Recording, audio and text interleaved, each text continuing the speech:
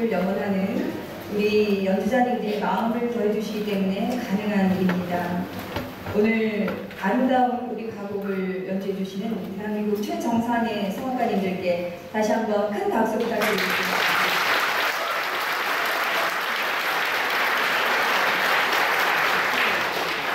이제 2부 무대는 좀 더 편안한 마음으로 12곡의 노래를 감상하시면 좋겠습니다. 2부 순서를 시작하기 전에 잠시 이 자리에 함께 하신 시인과 작곡가님들을 소개해 드리겠는데요. 가곡은 노랫말 시에 작곡가님들이 아름다고 깊은 선율로 생명력을 불어넣어 탄생하는 노래들이기 때문에 그 시의 흐름에 따라서 새로운 가곡이 탄생을 합니다. 그만큼 노랫말은 매우 중요하거든요. 그래서 오늘 이 자리에 함께 하신 작곡가님들을 제가 먼저 호명을 하면 한 번에 모두 일어나셔서 인사를 해주시겠습니다. 맨 앞줄에 계신 이안상 작곡가님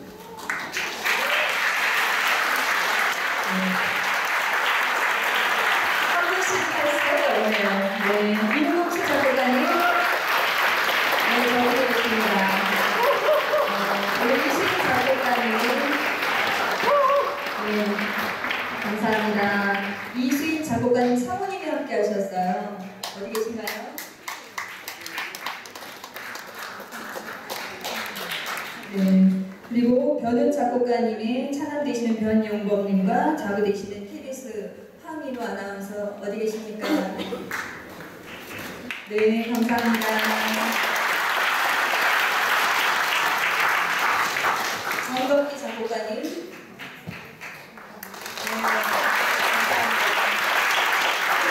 한지영 작곡가님. 감사합니다. 오늘 어린이들이 어, 노래 불러준 동요를 많이 작곡하신 우리 어, 김예경 작곡가님.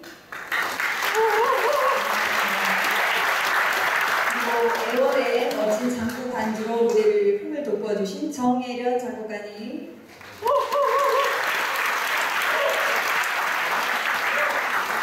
네, 그 자리에는 또 동요계의 김정철 작곡가님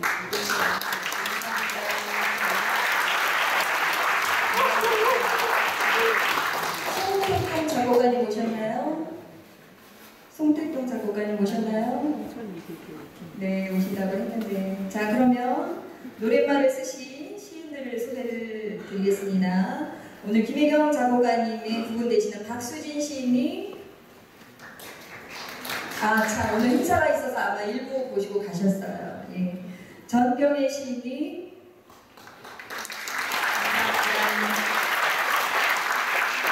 신 고은 시인님.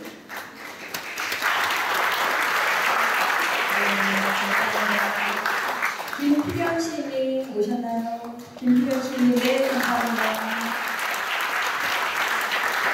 네 시인님 감사합니다.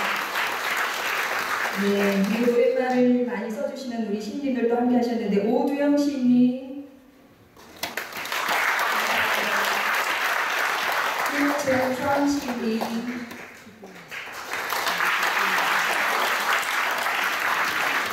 원세원 시인님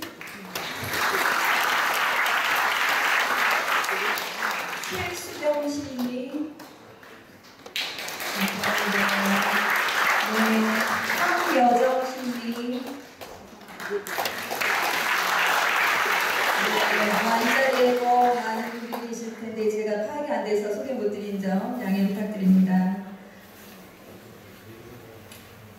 어, 그리고 오늘 이 자리에 특별히 소개를 시켜드릴 분이 계시는데 가곡이 국민들로부터 많이 사랑을 받고 있던 시달도 지나고 지금 방송에서 가곡을 들을 때가 드는 요즘에도 30년간 꿋꿋하게 세종문화회관 대극장에서 공연 펼쳐지는 신춘 가곡제를 이어오신 동인, 동인 음악의 신동근 사장님 함께 하셨습니다. 이 앞쪽에 계십니다.